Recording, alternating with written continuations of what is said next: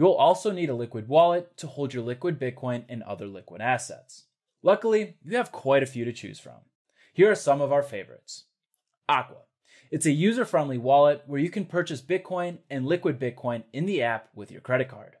Blockstream Green is a security and privacy focused wallet with multi sig and two factor authentication from Blockstream. It is also compatible with the Blockstream Jade hardware wallet. Marina is a browser extension wallet that is built for convenience. This wallet works great with the new automatic market maker from Bitmatrix. Specter is a desktop wallet that allows you to set up a Liquid node within the app and store your Liquid assets.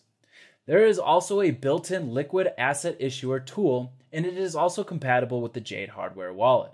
Platforms that are compatible with Liquid will also have their own wallets built in, such as Sideswap, Bitfinex, Sabavo, and many others. Some of these wallets are non custodial, some are not. So make sure you do your own research. But we think it's a good policy to have a pure wallet dedicated to securing your assets where you control your own keys.